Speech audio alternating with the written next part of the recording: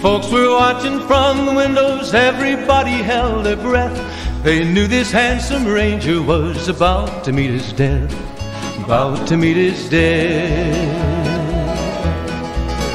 There was 40 feet between them when they stopped to make their play.